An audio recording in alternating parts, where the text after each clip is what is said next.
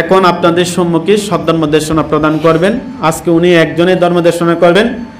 আমাদের পরম কল্যাণ মিত্র, এই যে যিনি সূত্রপিটকের দায়িত্ব পালন করছেন, নেতৃত্ব দেবেন, আমার পরম সুখে দুঃখের কল্যাণ মিত্র সাথে, আমার অনুজ আয়ুষ্মান সত্যপাল মহাতের মহোদয়, আপনারা ওনার সদ্ধর্ম দেশনা হাত জোর করে শ্রবণ করুন এবং দেশনার প্রারম্ভে আবারও সাধুবাদ দিয়ে ওনার সেই দেশনা শ্রবণ করার জন্য মনকে এই যে উচ্চস্বরে সাধুবাদ দিয়ে আপনাদের চিত্তকে পবিত্র তানায়ন করুন।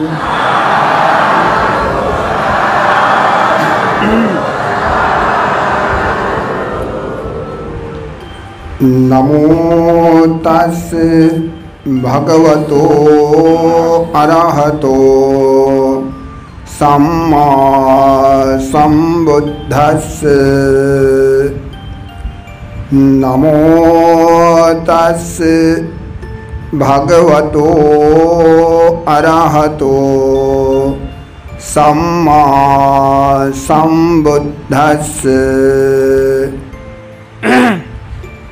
නමෝ තස්ස.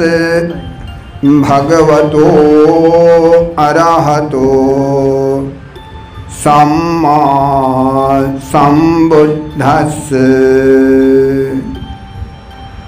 සබ්බ පාපස්ස අකරණං කුසලස්ස උපසම්පදා සචිත්ත පරියෝදපනං एतं बुद्धानुशासनम्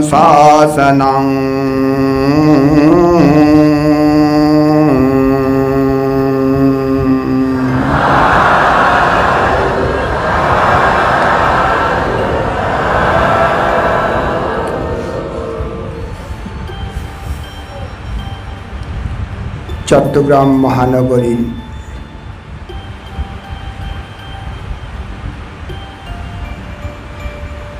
আগ্রাবাদষ্ঠ মোগলতলী সাক্ষ্যমণি বৌদ্ধবিহারে।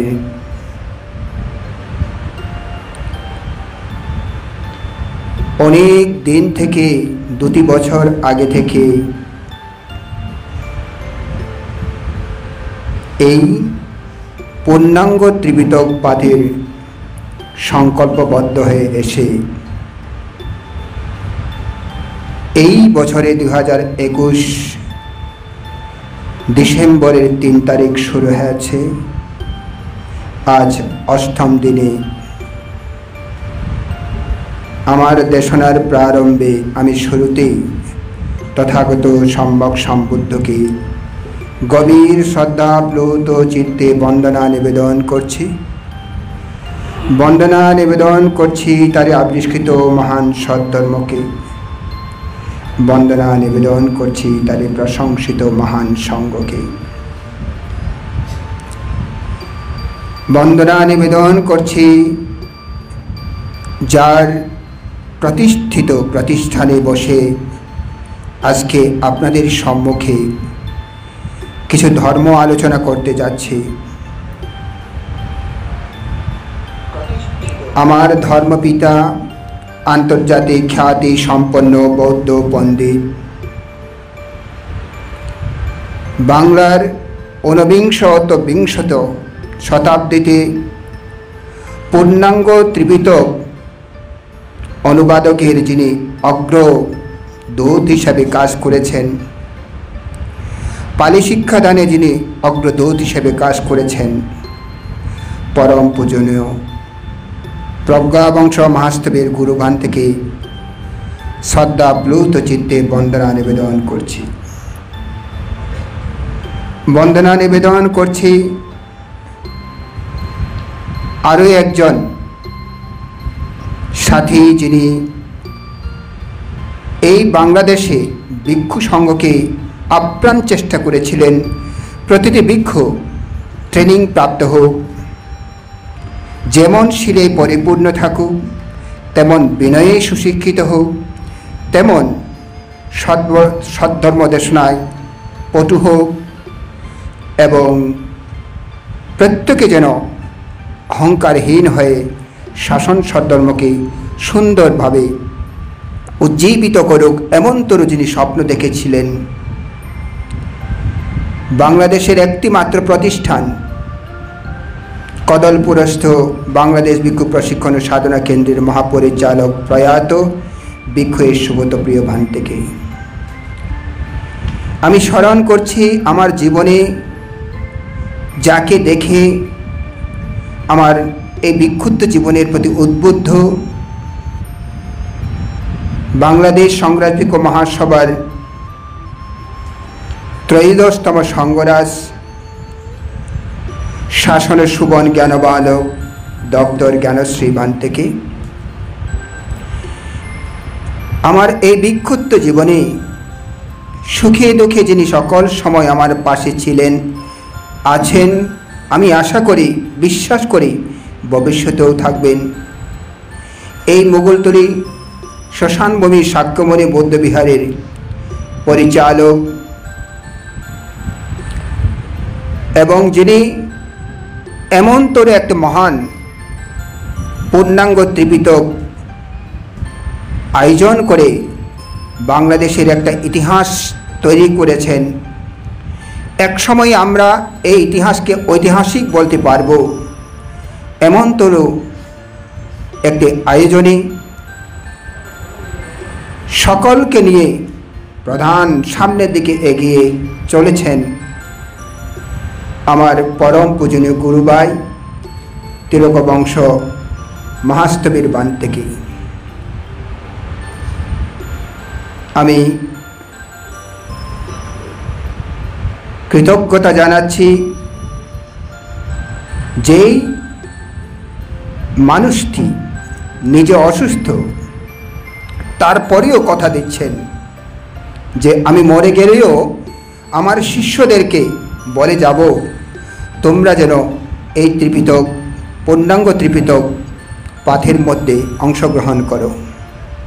কতটুকু মানসিক শক্তি থাকলে, কতটুকু শ্রদ্ধা থাকলে এই কথাটি বলতে পারি। আয়ুষ্মান প্রজ্ঞেন্দ্রীয় বৃক্ষ আমি যখন আয়ুষ্মান প্রজ্ঞেন্দ্রীয় ভিক্ষুর কথা বানতে বলছিলেন, আমার বার্মার শিক্ষা বান্তের কথা, শিক্ষক বান্তের কথা মনে পড়ল। বার্মিস বান্তার আমাকে বলেছিল যে, একজন ত্রিপিতক শিক্ষাগুরু, তিনি শিক্ষা দিতে দিতে দিতে দিতে বয়স্ত হয়েছে প্রায় শতায়ু। আর তিনি বসে শিক্ষা দিতে পারছেন না। শুয়ে, শুয়েও শিক্ষা দিয়েছিলেন। এমনকি যেদিন তিনি মারা যাবেন সেই দিনও তিনি শুয়ে শুয়ে শিক্ষা দিয়েছিলেন।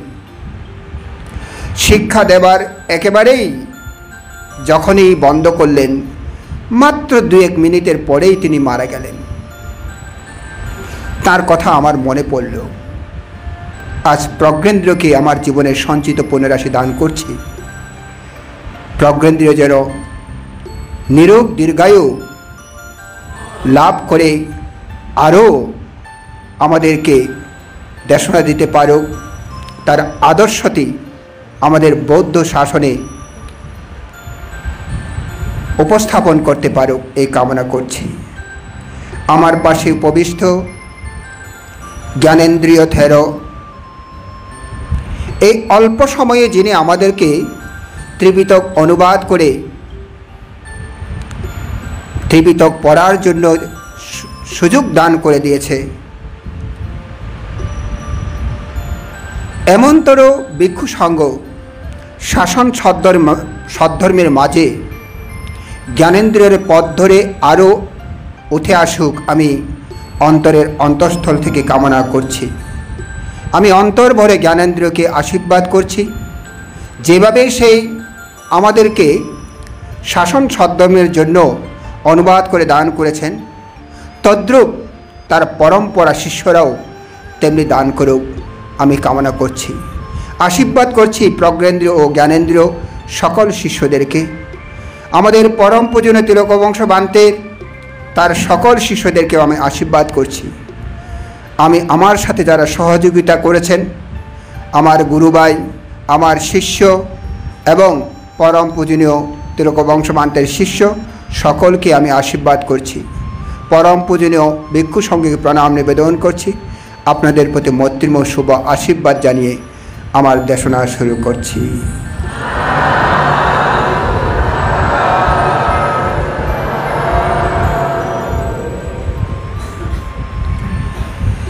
এতক্ষণ বান্তের কথায় আপনারা শুনলেন। আমি আজকেই মাত্র আসলাম। আসলে যাবার কথা নয়, আমি আসছি, উদ্বোধনী অনুষ্ঠান থেকে আসছি। এবং একেবারেই এখানে থাকব বলেই চিন্তা করে আসছিলাম। কিন্তু বিহারে কাজ থাকার কারণে আমাকে চলে যেতে হয়েছে। যে কার্যের জন্য গেছি সেটা হলো না, কারণ ঝড় বৃষ্টি হয়েছে, সে কাজটা হলো না। চিন্তা করলাম হয়তো তারপরের দিন আসব। যেহেতু আমরা বিহারে একটা দায়িত্ব আছি, গেলে একটা না একটা দায়িত্ব বেড়ে যায়, সেগুলো কাজ করেই আজকে আসলাম।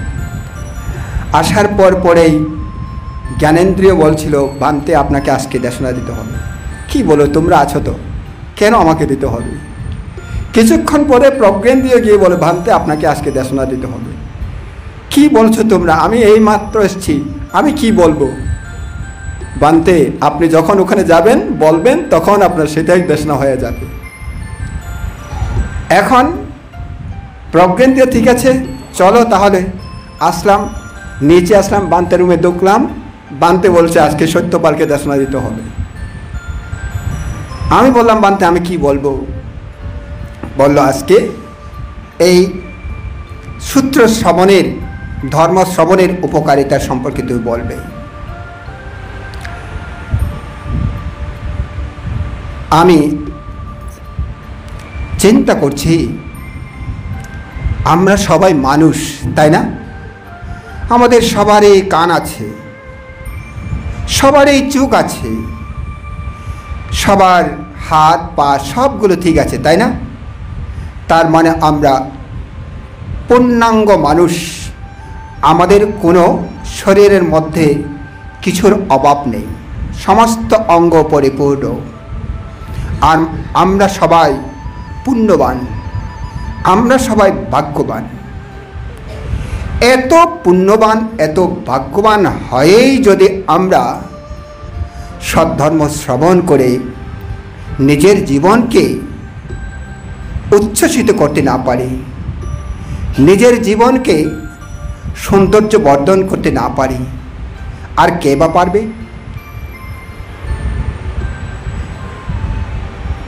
আমরা হয়তো পালি সম্পর্কে কিছু জানি না। জানি না আমি বলব না। আমরা কিছু না কিছু পালি জানি। কারণ চাঁদগাঁয়েবাসীরা সবচেয়ে ভাগ্যবান। কেন জানেন? কোনো কোনো পালি শব্দ চাঁদগাঁয়ের সাথে মিল আছে। কোনো কোনো পালি শব্দ পুরানো বাংলার সাথে মিল আছে। এই কারণে যারা সাহিত্য পড়েন, বিশেষত রবীন্দ্র সাহিত্য, বঙ্কিম সাহিত্য, নজরুল সাহিত্য যারা পড়েন, তারা পালিক কিছু না কিছু শব্দ নিশ্চয়ই বুঝবেন। আর যারা চাঁদগাঁয়াবাসীদের কথা কি বলব? মুসাবাদা বেরামানি শিক্ষাপদাং সমাদি আমি আমরাও বলি মিশা কথা নহইও মুসাবাদা মিশা কথা একেবারেই কাছাকাছি। এরকম আরও অনেক শব্দ আছে, আমার এই মুহূর্তে হয়তো মনে পড়ছে না। অনেক শব্দ আছে। একেবারে উত্তরবঙ্গ থেকে একজন হিন্দু ভদ্রলোক নামটা আমি বলে গেছি, তিনি একজন বিসিএস ক্যাডার, এখন চাকরি অবসর নিয়েছেন ইন্দ্রজ্যোতি বৃক্ষ ইন্দ্রজ্যোতি বৃক্ষ এখন লামাতে আছে। এই ইন্দ্রজ্যোতি বৃক্ষ তিনি নিয়ে আসছিলেন। সেই কিছু পালি শিখতে চায়। এই কারণে ইন্দ্রজ্যোতি বৃক্ষ প্রথমে নিয়ে গেলেন আমার দাদাবান্তের কাছে, আমার বড় ভাই বান্তের কাছে নিয়ে গেলেন খাগড়াছড়িতে। আমার দাদা বান্তে বললেন, আমার বয়স তো হয়েছে, আগের মতো শিক্ষা দেওয়ার উৎসাহ তেমন আর নেই। তাছাড়া আমি বার্মিস দিয়ে শিখেছি। আমি বাংলাতে শিখিনি। আমার ছোট ভাই সত্যপাল, সে বাংলা হরপে পালি শিখেছে, তার কাছে যাও। সে এখনও বয়স আছে, সে শিক্ষা দিতে পারবে। ইন্দ্রজিৎ নিয়ে আসলো আমার কাছে। আমি এই মানুষটিকে বললাম, আপনি একজন সরকারি প্রথম শ্রেণির নাগরিক। তাছাড়া আপনি তো এখানে বসে আর থাকতে পারবেন না। আপনার পারিবারিক কাজও আছে। যেহেতু আপনি শিক্ষিত, আমি বইটা দেখিয়ে দিলাম। এইভাবে এইভাবে আপনি হয়তো চিন্তা করলে আমি কিছু আলোচনা করেছি, প্রারম্ভিক আলোচনা করে দিয়েছি। আপনি যদি নিজেই প্রচেষ্টা করেন, আপনি পারবেন। সে বললেন, ভান্তে এই পালি শিক্ষার উৎসাহ আমি থেকে পেলাম? আমি এখন ধর্ম বই পড়ছি, বৌদ্ধ ধর্ম বই পড়ছি। যতই আমার পড়ি, ততই আমার উৎসাহ লাগে। কিন্তু মাঝে মধ্যে কিছু কিছু শব্দ আমি বুঝতে পারি না। বাংলা অথচ বুঝতে পারি না কেন? আমি একজন বিসিএস, তারপরে বাংলা শব্দটা বুঝি না কেন? আমি অনেক ঘুরে ফিরে দেখলাম। এটা আসলে বাংলা শব্দ নয়, এটা পালি শব্দ। এই পালি যদি আমি সঠিকভাবে ত্রিপিতক শিক্ষা করার জন্য আমাকে জানতে হয়, তাহলে পালি পড়তে হবে। পালি শব্দের সাথে আমার পরিচিত হতে হবে, এই ছাড়া উপায় নাই। এই কারণে আমি পালি শিক্ষা করতে এসেছি। উপাসক উপাসিকাগণ, বৌদ্ধ করে জন্মগ্রহণ তার নয়। কিন্তু তিনি ত্রিপিতক গবেষণা করতে চাচ্ছেন। বৌদ্ধ করে তার জন্ম নয়, কিন্তু বুদ্ধের ভাষা তিনি শিক্ষা নিতে চাচ্ছেন। বুদ্ধের ভাষাকে তিনি আয়ত্ত করতে চাচ্ছেন। কেন? বুদ্ধের ভাষার সাথে পরিচিত হবার জন্য। আর আমরা বৌদ্ধ করে জন্ম নিয়েছি, জন্মগত খুবই আমরা কপাল ভাগ্য না। চান কপাল নিয়ে জন্মগ্রহণ করেছি না। কিন্তু চান কপালটা অবস্যার কপাল হয়ে দাঁড়াল। কারণ আমরা পালি ভাষার সাথে পরিচিত নয়। এটা দোষটা কার বলুন? এখন সবাই বল, কেউ কেউ বলছে পালি শব্দ কি বুঝবে, এই বুঝবে, সেই বুঝবে। কেন রে বাবা? আমাদের দায়িত্ব নয় কি? সত্যিই যদি বুদ্ধের বুদ্ধকে আমরা বিশ্বাস করি, বুদ্ধকে আমরা শ্রদ্ধা করি, ধর্মকে আমরা বিশ্বাস করি, ধর্মকে আমরা শ্রদ্ধা করি, বিশ্বাস করি, সঙ্গকে বিশ্বাস করি, শ্রদ্ধা করি, তাহলে কেন আমরা বুদ্ধের ভাষা শিক্ষা করছি না? এটা তো আমার দুর্বলতা। বুদ্ধের ভাষা পালি এখন আমরা শুনব না। তাহলে কি পালিকে মৃত বলে ঘোষণা করি? বলুন আপনারা, পালি শব্দটা আমাদের কাছ থেকে চলে যাক। কামনা করেন? বলুন তো, আপনারা কামনা করেন? যদি কামনা না করি, নিশ্চয়ই এর উল্টোতেই কামনা করেন আপনারা। পালি শব্দটা আমাদের কাছে চির উজ্জীবিত থাকুক। চির ভাস্বর হয়ে থাকুক। এটাই তো কামনা করেন। তাহলে আমাদের দায়িত্ব নয় কি এই ভাষাটাকে টিকিয়ে রাখার জন্য? এই ভাষা আমাদের জানার জন্য আমাদের দায়িত্ব নয় কি? আমি মাঝে মধ্যে চিন্তা করি। আমি একবার ইন্ডিয়াতে চান্তিংয়ের মধ্যে অংশগ্রহণ করেছিলাম। আপনারা নিশ্চয়ই শুনেছেন না? প্রতি বছর ইন্ডিয়াতে চার্টিং হয়। বুদ্ধগয়াতে। সেখানে যিনি এই চান্টিংটা আয়োজন করেন, তাকে সবাই মাতাজি বলে ডাকেন। কোন দেশে তার জন্ম আমি জানি না, যে যতটুকু শুনেছি, আমেরিকা নাকি কোথায়? লন্ডনে না। তিনি জন্মগত কিন্তু বৌদ্ধ নয়। তিনি বিভিন্ন বই পড়ে, বিভিন্ন ধর্মগ্রন্থ পড়েই তিনি ত্রিপিটকের সাথে পরিচিত হয়েছে এবং ত্রিপিতকের প্রতি তার একটা দুর্বলতা সৃষ্টি হয়েছে। এই কারণেই তিনি বৌদ্ধ ধর্ম গ্রহণ করেছেন। আমাদের মধ্যে, বৌদ্ধ ধর্মের মধ্যে কোনো কনভার্ট বলে কিছু নেই। কাউকে আমরা জোর করে আনি না। এই তুমি এসো, আমার ধর্মকে গ্রহণ করো, এই কথা কখনো বৌদ্ধরা বলে না। বুদ্ধ এই কথা কখনো বলেনি। তুমি এসে দেখো, বিচার করো। বিচার করে যদি এইটা সত্য হয়, সার হয়, জীবনের একটা ভালো আলোর দিক অংশ হয়, তুমি অকপতে তখন গ্রহণ করো। এর আগে নয়।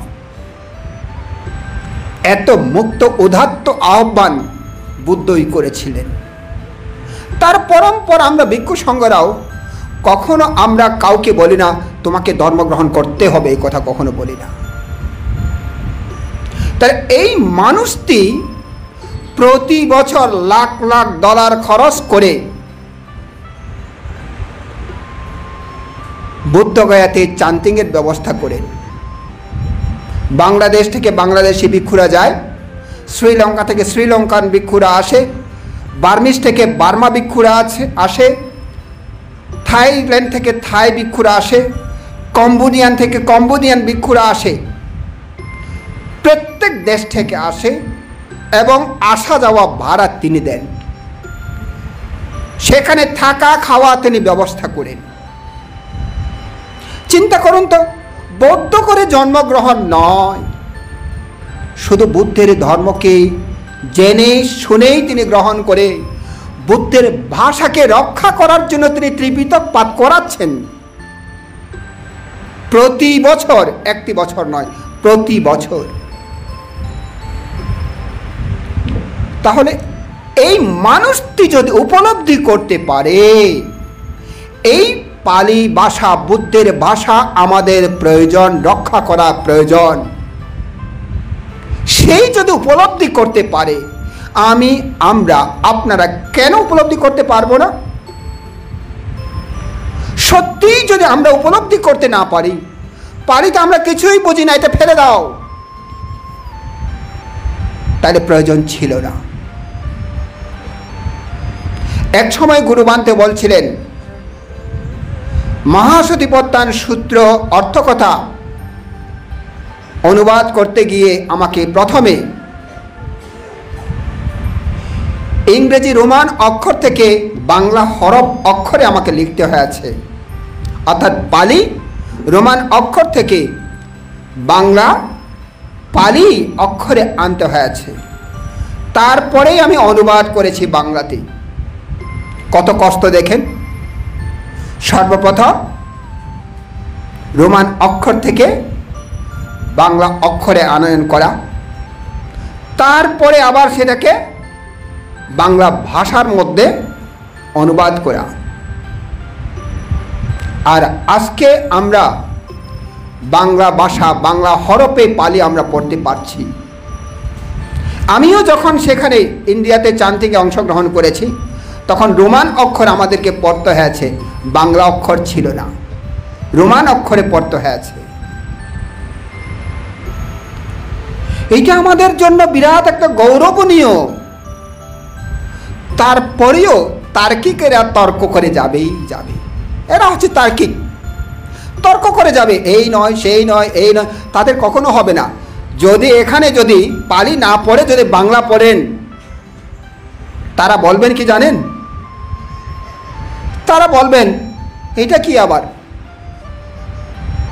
বাংলা কি এখানে বাংলা এখানে প্রতিদিন পড়ে পড়ে, এইভাবে পড়ে? মানুষ নিজে পড়তে পারে না? তাদেরকে আনুষ্ঠানিক করে পড়তে হয় নাকি? এই কথা বলবেন যারা তার্কিক তারা তর্ক করে যাবে, কখনো তর্ক শেষ হবে না। তাহলে আমাদেরকে কি করতে হবে? অনেক কথা বলবেন, আমাদের বানতে বললেন, তোমরা তাদের সাথে বলো, কেন চুপ করে থাকো? আমি কিন্তু চুপ করার পক্ষে আছি। বাড়াবাড়ি করে লাভটা কি? যেই মানুষটি তার্কিক তার সাথে বাড়াবাড়ি করে কখনো লাভ হবে না।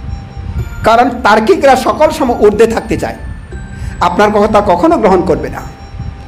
যিনি গ্রহণ করবে না, যেখানে মীমাংসা হবে না, তাহলে তার সাথে তর্ক করে লাভটা কি? বরঞ্চ বলে দাও, আমি বিশ্বাস করি ধর্মকে, আমি বিশ্বাস করি বুদ্ধের ভাষাকে। তুমি যদি বিশ্বাস না করো, সে তো তুমিই জানো। আমি তোমার সাথে তর্ক করব না। আমি চাই মনে প্রাণে বুদ্ধের ভাষা টিকে থাকুক চিরজীবন। বংশ পরম্পরায় টিকে থাকুক। আমি এই আশা করি এবং বিশ্বাস করি। এইটুকুই কথা। তাহলে এখানে এসে এইগুলো শুনে অথবা অনলাইনে শুনে আমার লাভটা কি? তাহলে বলি বুদ্ধের সময়ে আরেকটু কথা বলে এর আগে। কিছুই যদি না বুঝি। আচ্ছা আপনারা এসছেন?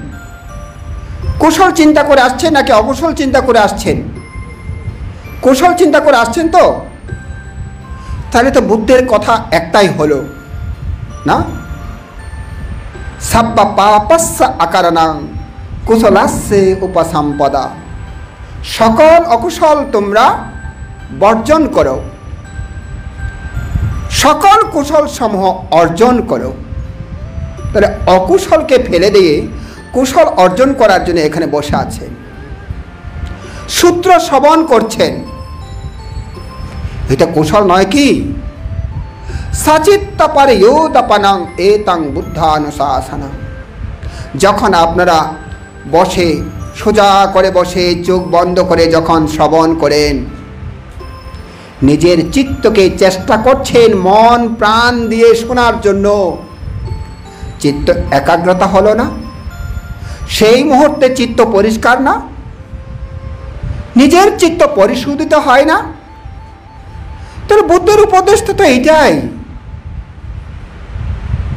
বলি, বলবেন, না বুঝে কেমন কেমন করে হবে?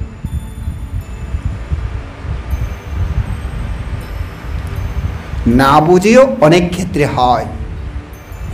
শুনতে শুনতে অনেক সময় বোঝা যায়।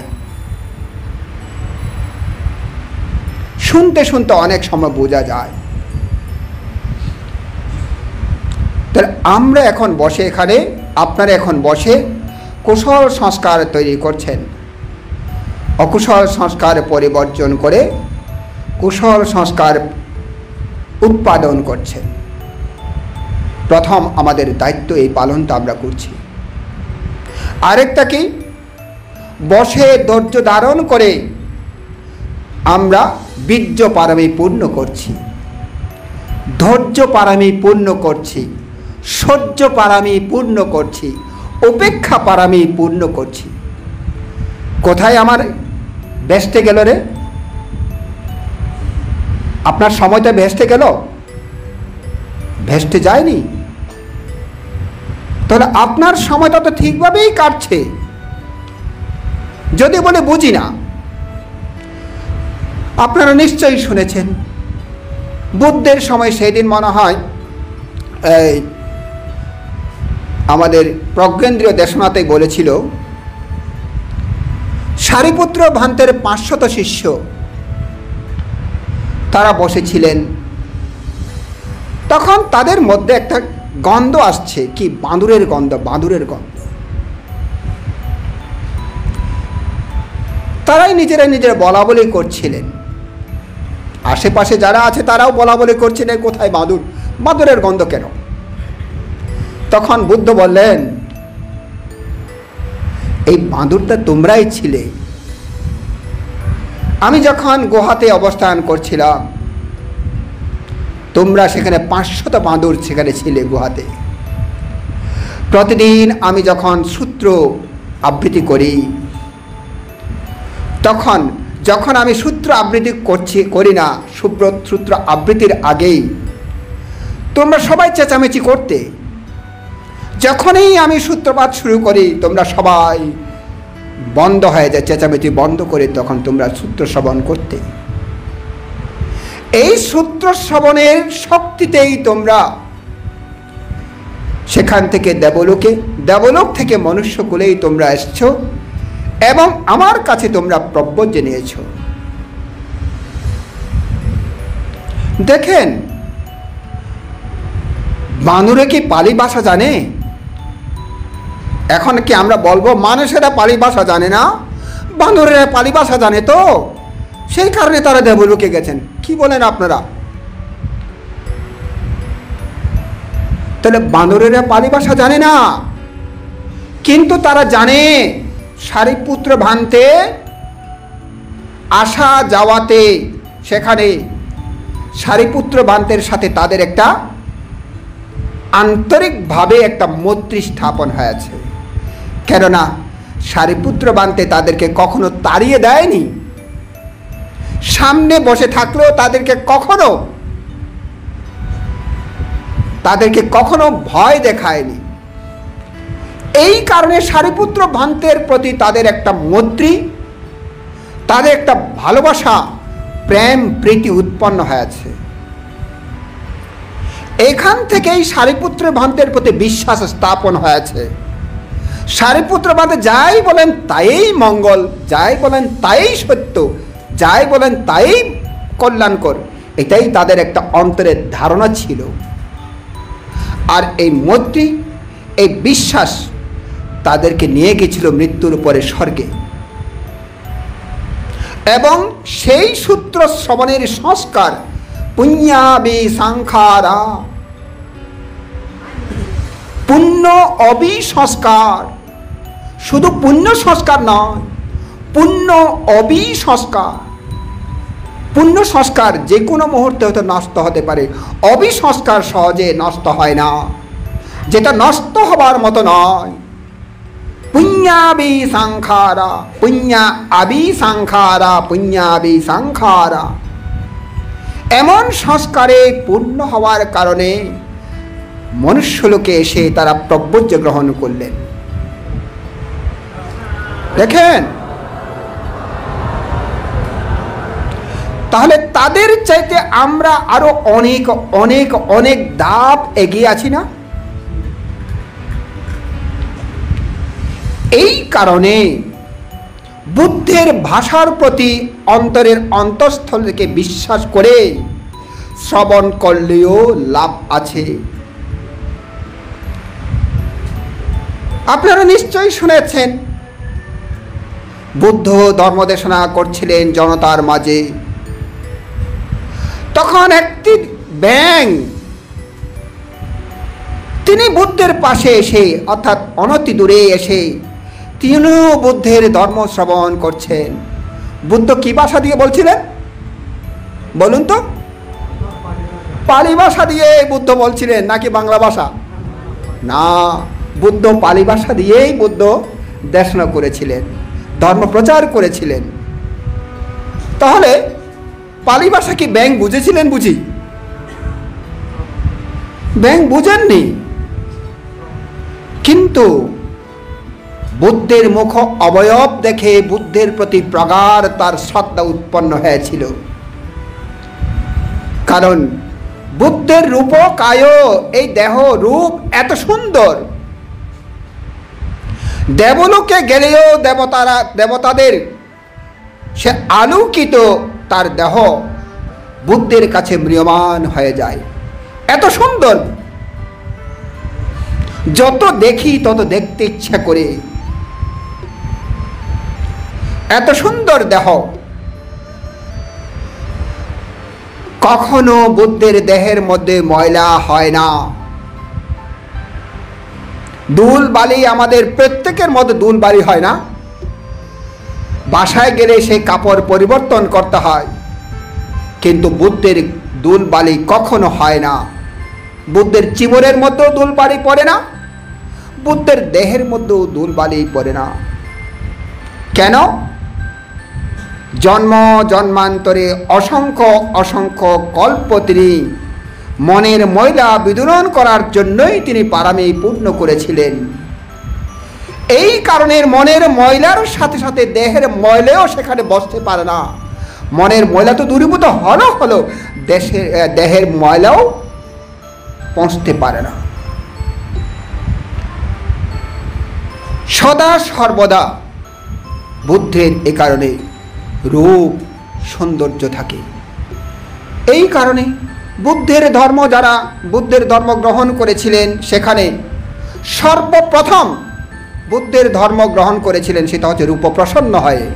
অর্থাৎ বুদ্ধের রূপটিকে দেখে আ এত সুন্দর! এত সুন্দর বুদ্ধ! বাহ! এইরকম একজন মানুষের পাশে থাকাই তা তো বিরাট ভাগ্যের ব্যাপার। মানুষের মনে এই উৎপন্ন হয়ে বুদ্ধের ধর্ম গ্রহণ করেছেন সবচেয়ে সর্বাধিক। দেখেন না, আমরা এখন দেখছি তিলক বংশবান্তে বা তিলক বংশবান্তে কিন্তু বিরাট বিরাট কাজ করেন। শাসন, শাসনিক কাজে বিরাট বিরাট কাজ করেন। আপনারা অনেকেই চিন্তা করেন, আমার ছেলেকে যদি প্রব্রজ গ্রহণ যদি করাই আমি তিলক বংশবান্তের কাছেই করাবো, তাই না? তিলক বংশবান্তের কাছে যদি আমার ছেলে তার পাশে যায়, আমার ছেলে জীবন ধন্য হয়ে যাবে। ভাবেন তো, তাই না? প্রজ্ঞেন্দ্রীয় বান্তের কাছে যদি আমার ছেলেটিকে দান করি, আমার ছেলের জীবন সার্থক হয়ে যাবে। তাই তো প্রজ্ঞেন্দ্রীয় বান্তের কাছে দান করে। জ্ঞানেন্দ্রীয় বান্তের কাছে যদি দান করি, আমার ছেলে তো পালি অনুবাদক হয়ে যাবে। তাই জ্ঞানেন্দ্রীয় বান্তের কাছে দান করি। আর বুদ্ধের কথা কি বলব? ঠিক এইভাবে রূপপ্রসন্ন। আমি এইদিকে যাব না, এদিকে গেলে অনেক লম্বা হয়ে যাবে।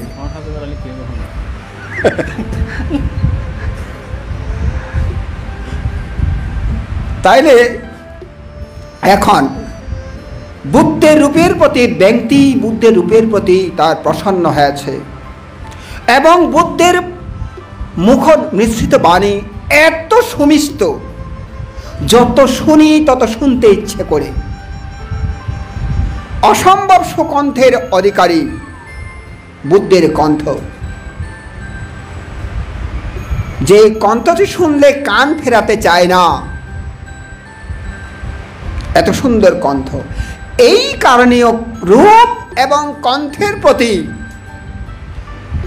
ব্যাঙের একটা শ্রদ্ধা, একটা বিশ্বাস, বুদ্ধের অবয়ব দেখেও মনে হয় যেন তিনি আমাকে মঙ্গল কামনা করছেন।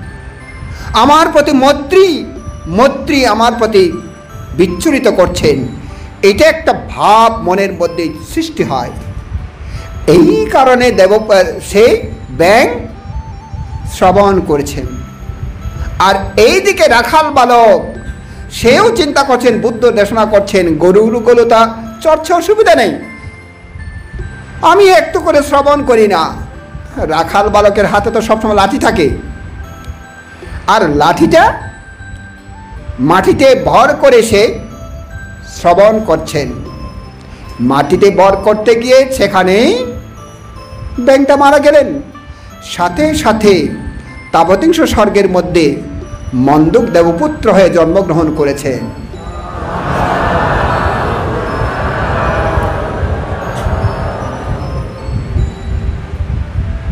গরুর বাছুর কারও হয়তো প্রয়োজন হয়েছে চামড়া। জীবিত অবস্থায় তাকে কোনো কাটা হয়নি। জোর করে ধরে বেঁধে তার চামড়াটা ছুলে দিয়ে গেছিলেন। মৃত্যু সজ্জায় শায়িত থির থির করে কাঁপছে। এমনতর অবস্থাতে একজন ভিক্ষু বিন্দাচরণ করে এসে দেখলেন এই অবস্থা। তার প্রতি প্রচুর করুণা হলো। সেখানেই তিনি আস্তে করে পাত্রতে রেখে বসেই মহাসতীপত্তান সূত্র আবৃত্তি করলেন। যেই মহাসতীপত্তান সূত্র শেষ, গরুর বাছুরটিও সেই সময় মারা গেলেন। মারা যাওয়ার সাথে সাথে তিনি দেবলোকের মধ্যে উৎপত্তি হলেন। কেন উৎপত্তি হলো? দেবলোকের মধ্যে তিনি পালি বুঝেন না। তারপরেও তিনি কেন দেবলোকে উৎপন্ন হলো এই এই শ্রাবণে? তিনি ভিক্ষুর অবয়ব দেখে বুঝতে পারলেন, এই ভিক্ষু নিশ্চয়ই আমার প্রতি মঙ্গল কামনা করছেন, আমার ভালোর জন্যই করছেন। এই কারণে ভিক্ষুর প্রতি তার মৈত্রী, তার শ্রদ্ধা তার বিশ্বাস স্থাপিত হয়েছিল। আর এই শ্রদ্ধা, ভালোবাসা, বিশ্বাস তাকে নিয়ে গিয়েছিল কোথায়? দেবলোকে। দেবলোকে নিয়ে গিয়েছিল। দেখেন, গরু বাছুরটি যদি দেবলোকে যেতে পারে, বুদ্ধের বাণী শ্রবণ করে, আমরা কেন বৃথা হব? আরে বাবা, জানি না আমরা কেমন করে বলি, এটা বৃথা বৃথা, কেমন করে বলি?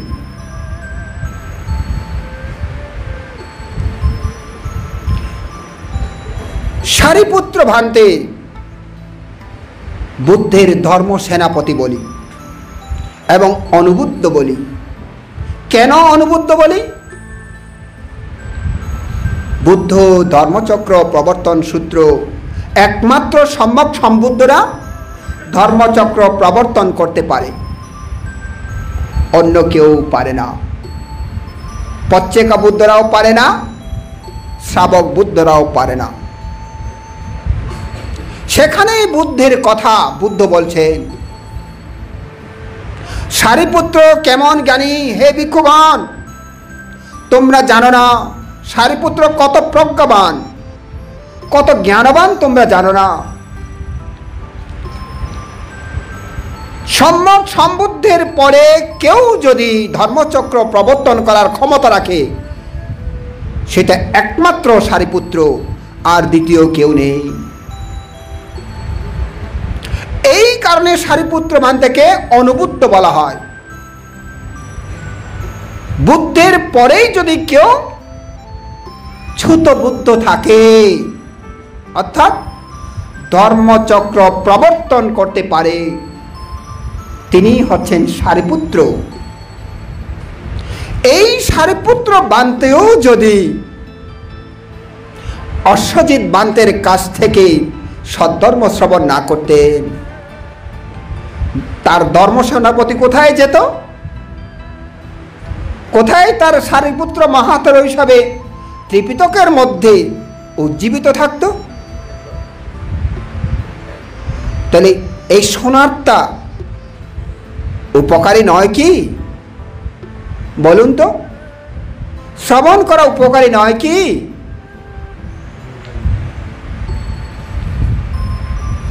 চিন্তা করুন। কালী নামক উপাসিকা, নাম শুনেছেন? কালী নামক উপাসিকা, দ্বিতল ভবনে তিনি বাতায়ন পথে বাতাস খেয়ে খেয়ে বসে আছেন বাতায়ন পথ তো চিনেন না? জানালা জানালা। দুতলার জানালার ধারেই তিনি বসে বাতাস খাচ্ছিলেন। এই দিকে বুদ্ধ ধর্মচক্র প্রবর্তন করছেন। সেখানে হেমবত যক্ষ উপস্থিত হলেন। দেখছেন তথাগত সম্যক সম্বুদ্ধ। ধর্মচক্র প্রবর্তন করছেন। তিনি কতক্ষণ শুনলেন? শুনে চিন্তা করলেন, আহা, আমার বন্ধু আমার বন্ধু সাতগিরি যক্ষ, এত সুন্দর ধর্ম থেকে বঞ্চিত হবেন। আমার বন্ধু, যত শ্রবণ করছি, ততই মনে হচ্ছে যেন আমাকেই বলছেন। এত মিষ্ট ধর্ম, এত আদর্শ নীতি কথা আর কখনো আমি শুনিনি। আমার এই বয়সে আমি শুনিনি। আজকে আমি শুনতে পাচ্ছি আমি কত ভাগ্যবান। আর এই ভাগ্যের সময় কেন আমার বন্ধু সাতগিরি যক্ষ নেই? না, আমি খুঁজবো। সাতগিরি যক্ষকে খুঁজতে গেলেন। সাতগিরি যক্ষ, সেই বনের মধ্যে। তিনি বনের মধ্যে সেই দিন একেবারেই মনে হচ্ছে যেন জঙ্গলের মধ্যে প্রতিটি গাছের মধ্যে ফুল ফুটেছে।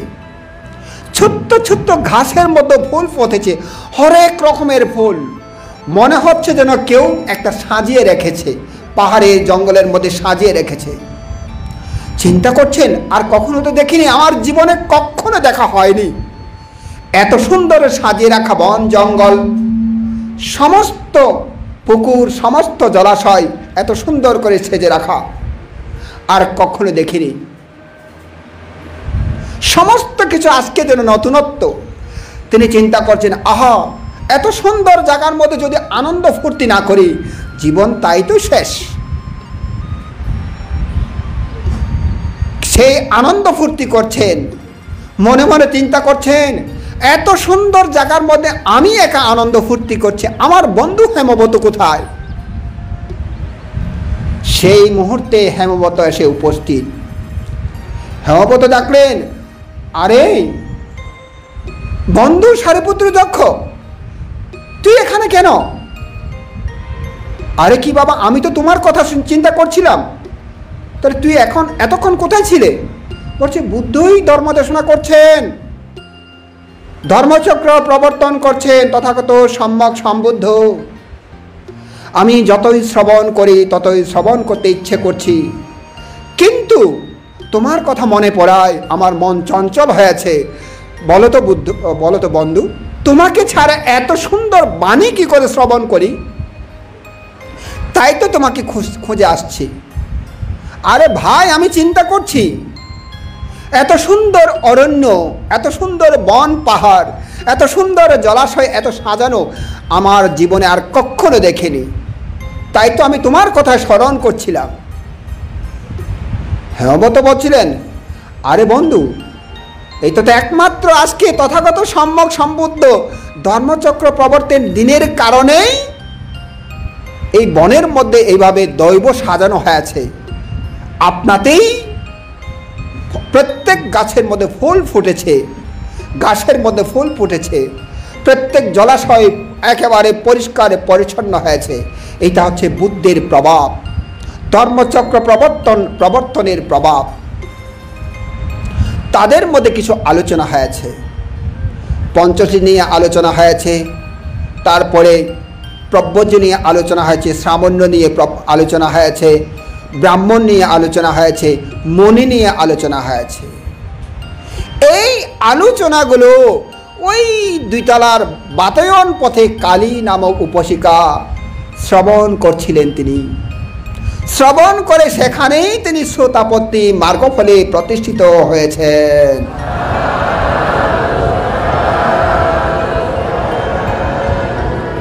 শ্রবণের ফল দেখুন কত বড় শ্রবণের ফল, চিন্তা করুন। অঙ্গুলিমানের মতো দুঃস্য নয়শো নিরানব্বই জন মানুষকে হত্যা করেছে। আর একজন মানুষকে হত্যা করার জন্য পাগলের মতো খুঁজছে। মাকে দেখে মাকেও আজকে ছাড়বে না। মাকে হলেও তিনি মেরে ফেলবেন। এমনতর ব্যক্তিকেও বুদ্ধের একটি কথাতে, একটি বুদ্ধের বাণী শ্রবণে সম্পূর্ণ তিনি পরিবর্তন হয়ে গিয়েছিলেন, তাই না? যে বীর্য পরাক্রমের দ্বারা নয়শো নিরানব্বই মানুষকে হত্যা করেছিলেন, সে একই বীর্য পরাক্রম যখন কুশলে পরিণত হল,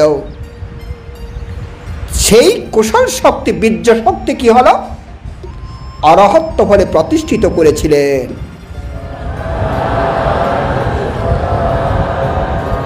শ্রবণের উপকারিতা দেখেন। কুজ্জুত্তরা উপাসিকা নাম শুনেছেন মনে হয়। রাজা উদয়নের স্ত্রী, পাত্রাণী শ্যামাবতী। শ্যামাবতীর দাসী হচ্ছে কুজ্জুত্তরা।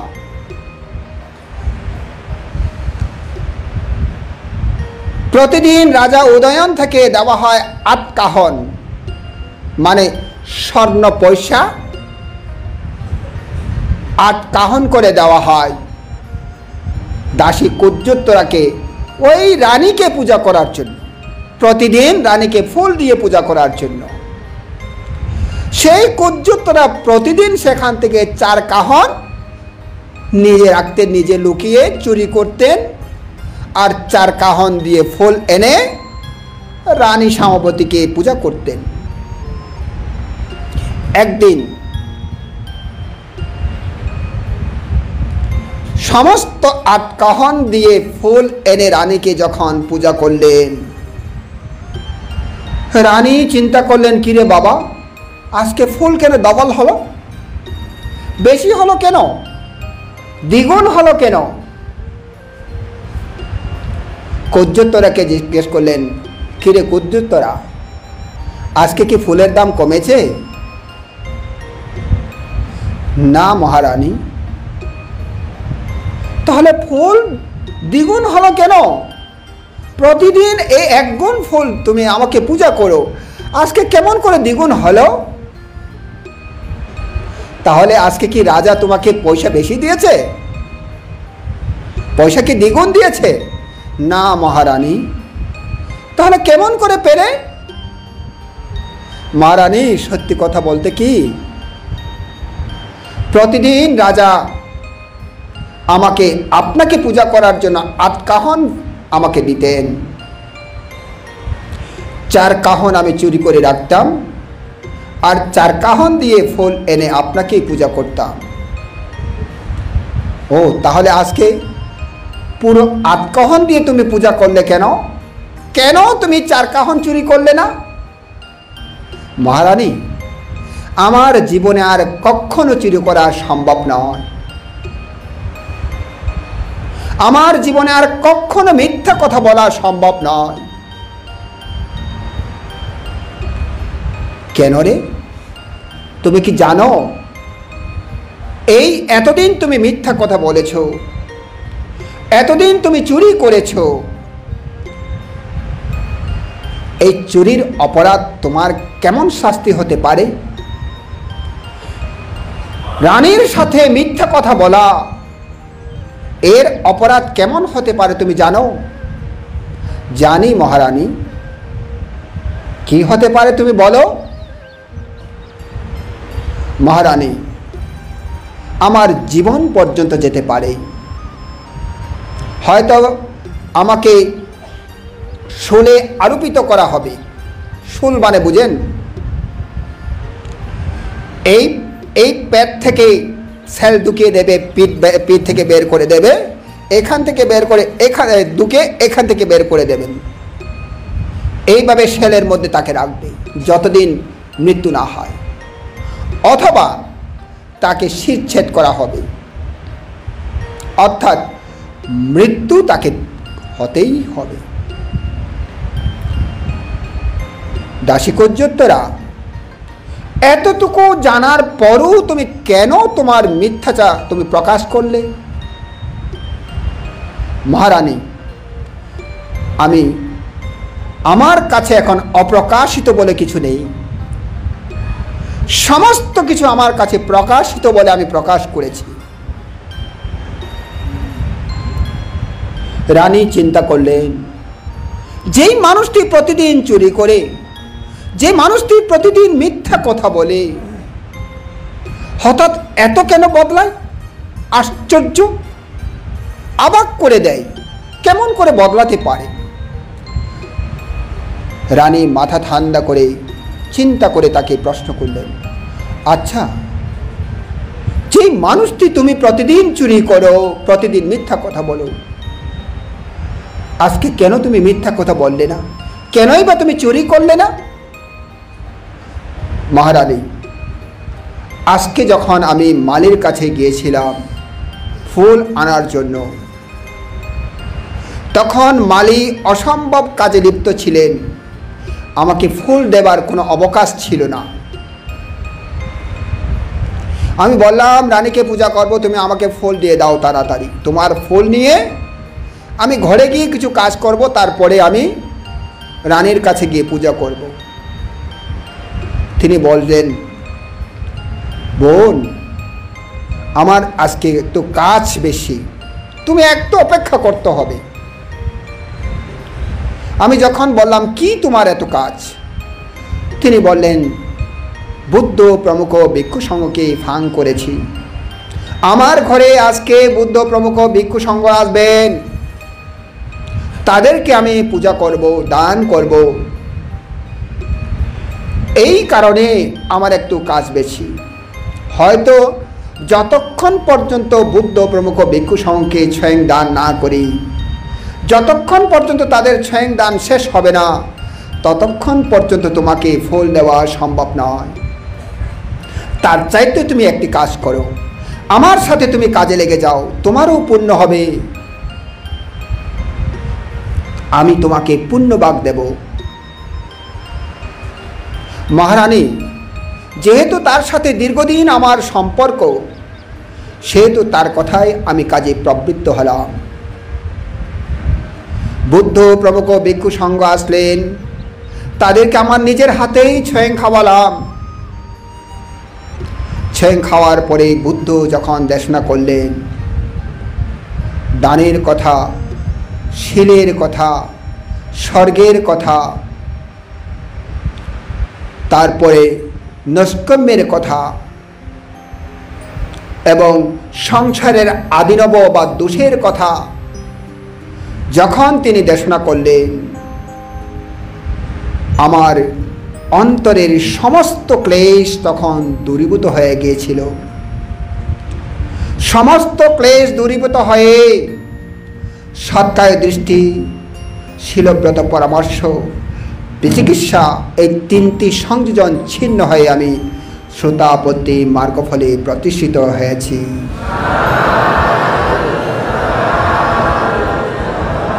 এই কারণে আমার পক্ষে আর মিথ্যা কথা বলা সম্ভব নয়। এই কারণে আমার পক্ষে আর চুরি করা সম্ভব নয়।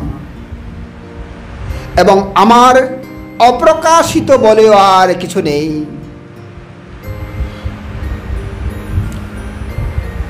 রানী বললেন, আমি তোমাকে শাস্তি দেব। তোমাকে সেই শাস্তি পেতেই হবে। মহারানী, আপনি যাই শাস্তি দেন, আমি মাথা পেতে নেব। আমার অন্তর বিন্দু পরিমাণ আপনার প্রতি দেশচিত্ত উৎপন্ন হবে না, হিংসা উৎপন্ন হবে না, এবং আমার মনও দুঃখিত হবে না। হ্যাঁ আমি তোমাকে শাস্তি দেবই দেব। আচ্ছা মহারানী, বলুন আমাকে কি শাস্তি পেতে হবে? যেটাই বলেন সেটাই আমি মাথা পেতে নেব। মহারানী বললেন শাস্তিটা হচ্ছে তুমি যেই ধর্ম পেয়ে এত পরিবর্তন হয়েছ, সেই ধর্ম আমাকে দিতে হবে। যদি তুমি দাও, আমি অন্যান্য শাস্তি থেকে তোমাকে রেহাই দেব, এমনকি দাসত্ব থেকে তোমাকে মুক্তি দেব। তখন কুজ্জোত্তরা বলেন, মহারানী, সাধু সাধু সাধু। আপনার এই শর্তটি আমি মেনে নিলাম। তবে আমিও আপনাকে এই শর্ত জুড়িয়ে দেব। আমার এই শর্তটি যদি পূর্ণ না হয়, আপনাকে আমি এই ধর্ম দান করতে পারব না। বলো, কজ্জোত্তরা, কি আমার আমাকে শর্ত দেবে? মহারানী, সর্বপ্রথম শর্ত হলো, আপনাকে আপনি প্রতিদিন যেই জল দিয়ে স্নান করেন, সুগন্ধি জল দিয়ে, আমাকে সেই সুগন্ধি জলে স্নান করাতে হবে। আর দ্বিতীয় শর্ত দ্বিতীয় শর্ত হল, প্রতিদিন আপনি স্নানের পরে যেই বস্ত্র পরিধান করেন, উন্নত শ্রেষ্ঠ সুন্দর বস্ত্র, সেই সুন্দর বস্ত্র আমাকে পরিধান করাতে হবে। তা তৃতীয় শর্ত তৃতীয় শর্ত হল, আমাকে উচ্চ ধর্মাসন একটা তৈরি করতে হবে আমার জন্য। আর আপনাকে নিচে বসে ধর্ম শ্রবণ করতে হবে।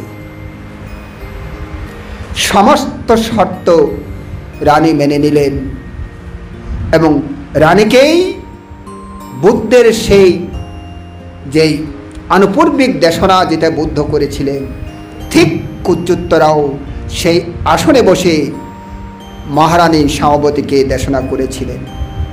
এই মহারানী সমাপতীয় কুজ্জোত্তরা থেকে ধর্ম শ্রবণ করে তৎমুহূর্তে তিনিও শ্রোতাপন্ন পলে প্রতিষ্ঠিত হয়েছিলেন।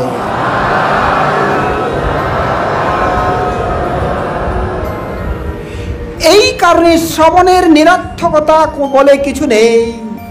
যখন ধর্ম শ্রবণ করেন, ধর্ম শ্রবণের মধ্যে নিরর্থকতা বলে কিছু নেই কিছু নেই কিছু নেই। অর্থহীন বলে কিছু নেই কিছু নেই কিছু নেই। এবং এই পালি আবৃত্তি শুনেও অনর্থক বলে কিছু নেই কিছু নেই। এত কিছু বলার পরও যারা তার্কিক তারা তর্ক করে যাবে। মিথ্যা দৃষ্টির মধ্যেও তার্কিক একটা মিথ্যা দৃষ্টি আছে। মীমাংস। মিথ্যা দৃষ্টি। এই কারণে অনেকেই চিন্তা করেন, এত টাকা খরচ করে কেমন করে করা হলো? আমি এক সময় আমার গুরুমান থেকে পূজা করার জন্য নাক আসন বানাচ্ছি। তিন রাত্রি আমি ঘুম যাইনি। নাক আসন বানাচ্ছি। গুরু পূজা করব বলে। যখন শ্মশানে ছিলাম, গহিরা শ্মশানে অবস্থান করছিলাম, আমরা কয়েকজন ভিক্ষু সংঘরা মিলে দিনে রাতেই আমরা কাজ করছি পূজা করার জন্য। কারণ গুরুকে বসাবো এমন তোর আসনে।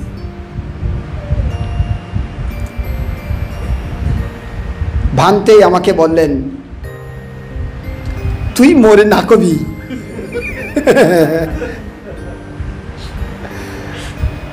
আমি বললাম বানতে আমি নাক হব না। কেননা, আমি নাক বানাচ্ছি, নাগের আমার সংজ্ঞা নেই। আমার সংজ্ঞা হচ্ছে গুরু পূজা। এই আসনে বুদ্ধ যেমন নাগের আসনে বসে, বসেছিলেন, আমার গুরুকে আমি নাগ আসনে বসাবো। এই কারণে আমার সংজ্ঞাটা হচ্ছে গুরু পূজার সংজ্ঞা।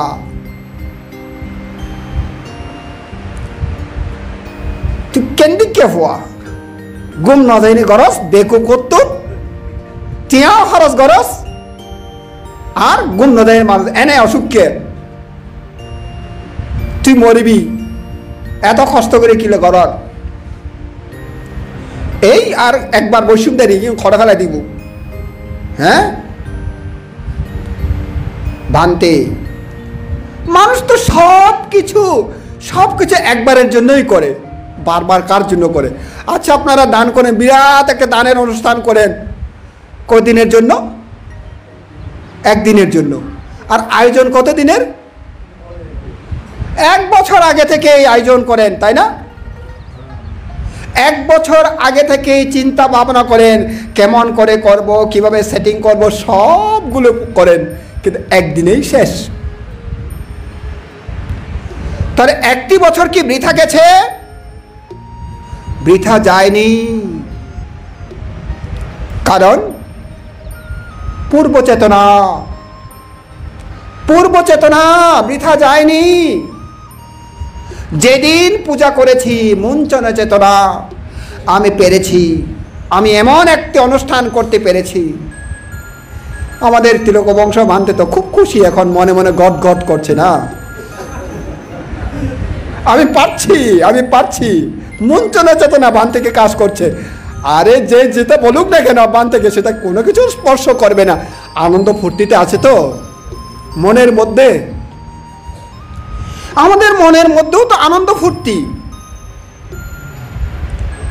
কারণ আমি কখনো ভাবিনি, এই পূর্ণাঙ্গ সূত্র পৃথকগুলো আমি পুরো পর্ব কখনো ভাবিনি। এখন আমাকে এই আয়োজনের জন্য বাধ্য হয়ে পড়তে হবে, তাই না?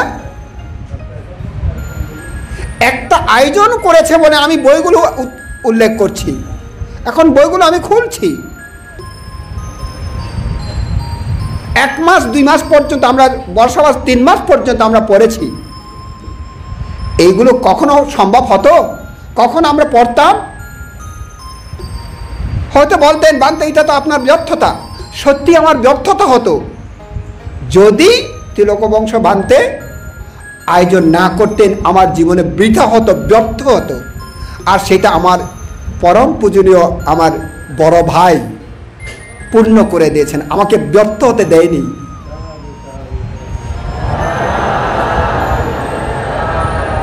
তাহলে বলুন, কোথায় তো ব্যর্থ?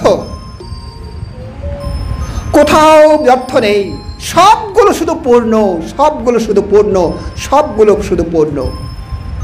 একটি দিনের জন্য বুদ্ধ গৌতম সিদ্ধার্থ তিনি আমরা জানি চারি অসংখ্য লক্ষ কল্পকার পারামি পূর্ণ করেছিলেন, তাই না? কিন্তু দেখা যায়,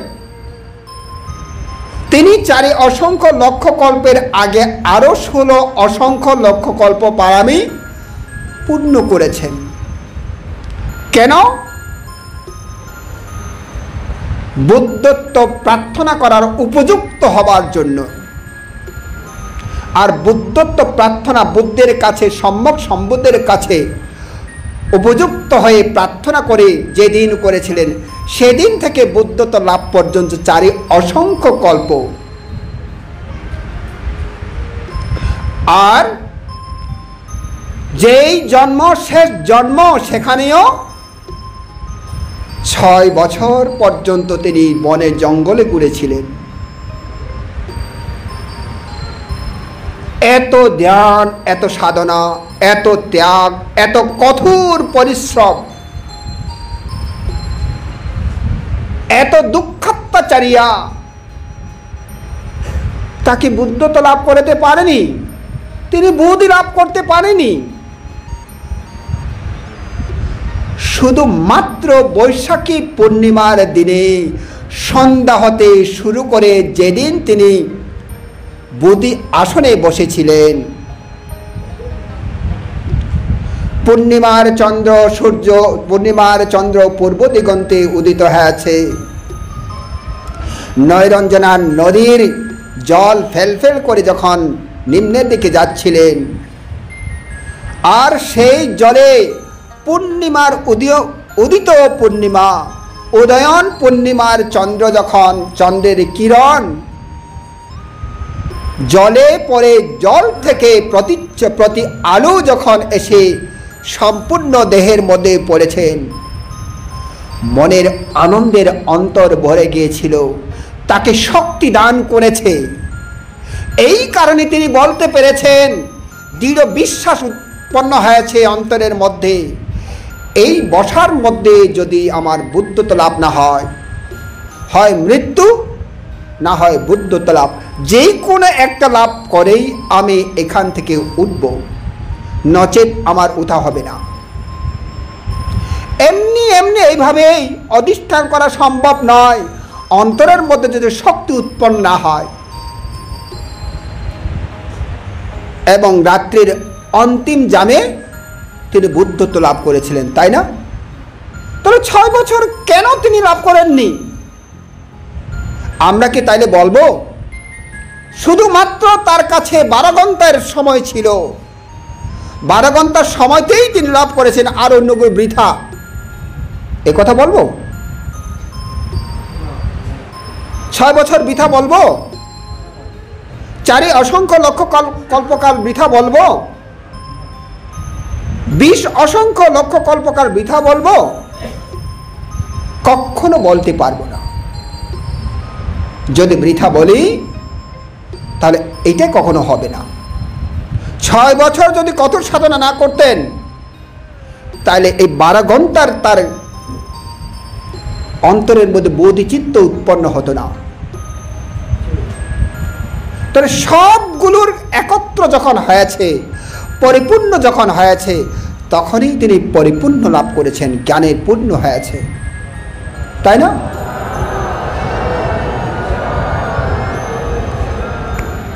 তাহলে আমার এটা বৃথা যাবে কেন? এত টাকা আমার বৃথা যাবে কেন? এত খরচ বৃথা যাবে কেন? যারা দান করেছেন, তারা কি বৃথার জন্য দান করেছেন? তারা বিশ্বাস করে দান করেছেন না? মনের আনন্দে দান করেছেন না?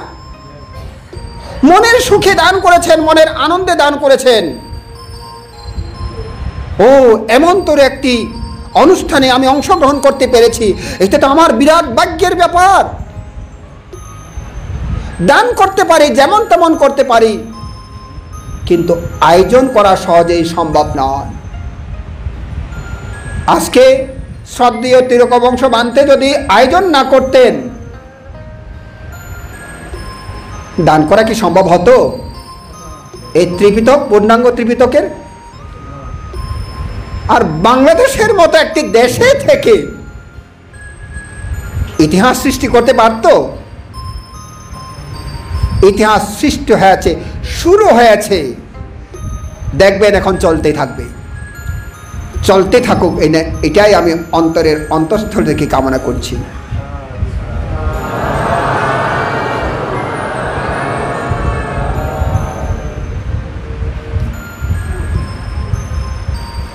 কারণে কেউ যদি যদি মনে করে এটা বৃথা, তাহলে তার জীবনের জন্য বৃথা।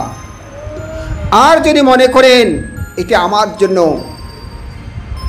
বৃথা নয়, সার্থক হয়েছে, অনর্থক নয়, সার্থক হয়েছে, এটাই যদি মনে করেন, নিশ্চয়ই আমার জন্য সার্থক, আপনাদের জন্য সার্থক। তাহলে কোনটা মনে করবেন? নিরর্থক মনে করবেন নাকি সার্থক মনে করবেন? সার্থক মনে করবেন।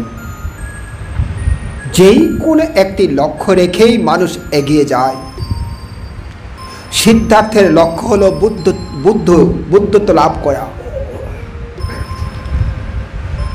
তিলক বংশ বান্তের এটাই পর্যন্ত লক্ষ্য হচ্ছে, আমি করে ছাড়বই, ছাড়বো, করবই করব। এইটা হচ্ছে তিলক বংশ বান্তের লক্ষ্য। তার লক্ষ্য পূর্ণ হয়ে আছে শ্রদ্ধা প্রজ্ঞেন্দ্রিয়র লক্ষ্য হচ্ছে, বান্তের আয়োজনে আমি সামিল হবই হব। আমার মৃত্যু যদি হয়, আমার শিষ্যরা সামিল হবে, আমি বলে যাব। জ্ঞানেন্দ্রিয় দক্ষ তাই। সেও বলছেন, বান্তে, আমরা আছি, আপনার সাথে থাকবই থাকব আমি তো বললাম, ভান্তে, আমি আছি, আমি মনে করছি আমি ভাগ্যবান। আমিও সেখানে একজন অংশগ্রহণ করতে পারছি। এর চাইতে আর কি ভাগ্যবান হতে পারে? সত্যি আমরা খুবই আনন্দিত, খুবই উদ্বেলিত। অবশ্যই আপনারাও অসম্ভব অসম্ভব ভাগ্যবান। কখনো আপনারা চিন্তা করেননি, পূর্ণাঙ্গ ত্রিপিদক কখনো শ্রবণ করবেন, কখনো চিন্তা করেননি। আজকে যেটা চিন্তা করে করেননি সেটা বাস্তবায়ন হচ্ছে আজকে, চলছে, চলমান অবস্থাতে আছে। তাই এমনতর ভাগ্যবান দিনে আমরা উপস্থিত হয়ে আমরাও যেন জীবনকে সার্থক করতে পারি, সেই প্রচেষ্টা আমরা অবশ্যই করব, তাই না? অবশ্যই আপনারা করবেন। যেমন সামবতী সার্থকে পরিণত হয়েছিলেন শ্রবণ করে। যেমন কুজ্জুত্তরা দাসী হয়েও তিনি শ্রবণ করে সার্থকে পরিণত হয়েছিলেন। তাদের কথা কি বলব? হীন প্রাণী ব্যাংকটিও তিনিও সার্থক হয়েছিলেন শ্রবণ করে।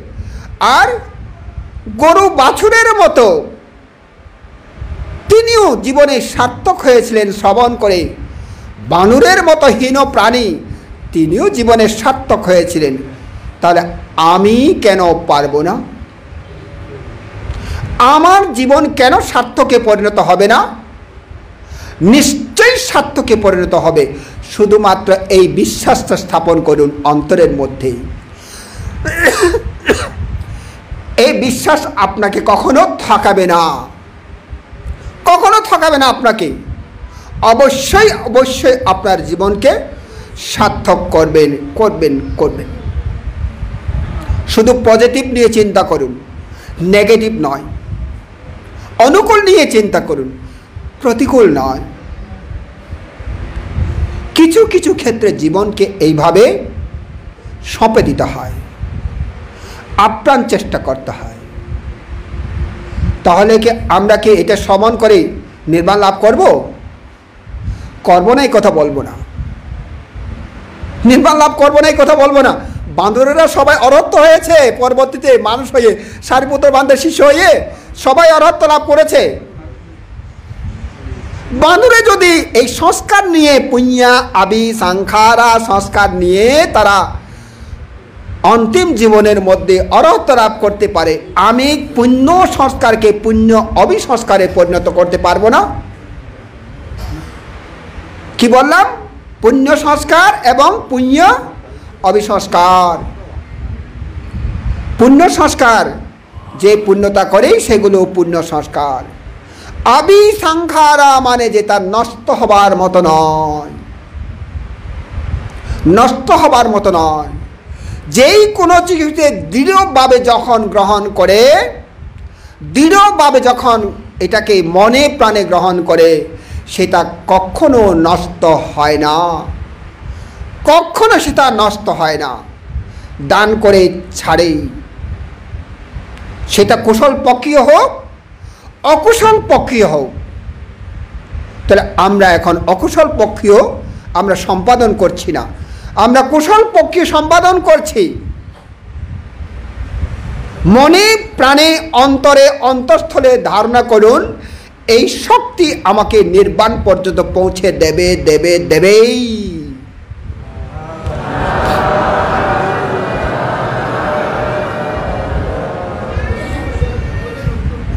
আমার মনে হয় আমি আর কথা বাড়ালে ভালো হবে না। সময় আমাদের একটা নির্দিষ্ট আছে নির্দিষ্টর বাইরে মনে হয় চলে গেছে। তাই কথা বাড়ালে আরও কথা বেরিয়ে যাবে। আমার আমি আর একটা কথা তুললে আরেক কথা অনেক বাড়িয়ে যাবে। এই কারণে আমার, আমি আর সেই দিকে যাচ্ছি না। উপাসক, উপাসিকাগণ, এই এমন একটি দিন তাকে আমরা বারবার স্মরণ করব, বারবার শুনব, বারবার অন্তরের মধ্যে ধারণ করার প্রচেষ্টা করব এবং অনুৎসাহিত অন্তরকে আমরা ছুঁড়ে ফেলে দেব। উৎসাহিত অন্তরকে আমরা প্রাণ খোলেই দেব আমরা। আমাদের কাছে যেন অপ্রকাশিত বলে আর কিছু না থাকে, সমস্ত কিছু যেন খুলে দিতে পারে। কিছু যেন ক্লেশ না থাকে অন্তরের মধ্যে, সমস্ত ক্লেশ যেন দূরীভূত হতে পারে। জীবন যেন সার্থকে পরিণত হতে পারে, এই কামনা করছি এবং এই প্রার্থনা করছি আমি আমার গুরুজনদের কাছ থেকে। আমাদের এই প্রচেষ্টা পরম পূজনীয় তিলকবংশবান্তের এই প্রচেষ্টা আমাদের প্রত্যেকের প্রচেষ্টা, আপনাদের প্রত্যেকের প্রচেষ্টা, যারা দান করেছেন, যারা সেবা করছেন, তাদের প্রত্যেকের প্রচেষ্টা তাদের তাদের প্রত্যেকের স্বার্থকে পরিণত হোক। এবং আমরা, আমি যেদিন উদ্বোধন হয়েছে সেদিনও বলেছিলাম, আমরা যেতে পাঠ করছি, আমরা যে ত্রিপিটক পাঠ করব, প্রতিটি অক্ষরে অক্ষরে পরম পূজনীয় প্রজ্ঞালোক ভান্তে জিনবংশ ভান্তে, অষ্টম সংগ্রাস শিলালঙ্কার ভান্তে, বংশদেব বান্তে সুগত বংশ বান্তে আর্য শ্রাবক, এই, কি বলে? কানে জ্ঞানেশ্বর বান্তে তাদের এবং আমার গুরু বান্তে প্রতিটি অক্ষরে তাদের কথা আমাদের স্মরণ থাকবে। প্রতিটি অক্ষরে তাদের কথা স্মৃতি বহন করবে। বৃক্ষের সুগতপ্রিয় ভান্তে, তাদের কথা স্মরণে থাকবে। এবং প্রজ্ঞাজ্যোতি বান্তের কথা আমাদের স্মরণে থাকবে। এই শাসন সদ্ধর্ম হিতের জন্য, মঙ্গলের জন্য যারা জীবনকে উৎসর্গ করেছেন, প্রত্যেক ভিক্ষু সঙ্গ সভ্যগণের আমাদের স্মরণে থাকবে, আমাদের স্মৃতি কাতর হয়ে থাকবে। এই প্রতিটি প্র- যতদিনের পরেই, যতদিন দুই দুই মাস নয় দিন আমরা যে এগুলো আবৃত্তি করব প্রতিটি সময়ে, প্রতিটি মুহূর্তে, দিনে, রাতে তাদের কথা স্মরণ থাকবে। তাই আমি আবারও তাদের কথা স্মরণ করে কৃতজ্ঞতা বলে তাদেরকে আমি বন্দনা নিবেদন করছি। পরম পূজনীয় তিলক বংশবান থেকে বন্দনা নিবেদন করে প্রজ্ঞেন্দ্রীয়, জ্ঞানেন্দ্রীয় প্রমুখ ভিক্ষু সংঘকেও আমি আশীর্বাদ দান করে আপনাদের প্রতি আমার জীবনের সঞ্চিত পুণ্যরাশির সাথে আশীর্বাদ দান করছি। যারা এখানে দান অংশগ্রহণ করেছেন, যারা এখানে সেবা করছেন, যারা রান্না বান্না করছেন, প্রত্যেককে সম সমভাবে আমার জীবনের সঞ্চিত পুণ্যরাশি দান করছি। তারই সাথে আশীর্বাদ বর্ষণ করছি। দেব, নাগ, কিন্ন, যক্ষ, বোধ, প্রেত, সকল সকল সত্যকে সম সমভাবে আমার জীবনের সঞ্চিত পুণ্যরাশি সহ আশীর্বাদ দান করে আমার নাতি দীর্ঘ দেশনা এখানে শেষ করলাম। জগতের সকল প্রাণী সুখী হোক।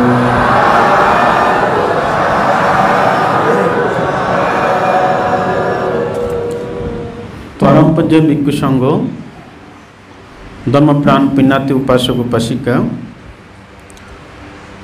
আমাদের আয়ুষ্মান সত্যপাল মহাতেরও সুন্দর প্রাঞ্জল আহ, ভাষায় সদ্ধর্ম দেশনা করেছেন। বিভিন্ন জাতক বিভিন্ন উপমা বিভিন্ন উদাহরণ দিয়ে আপনাদেরকে বোঝানোর জন্য চেষ্টা করেছেন।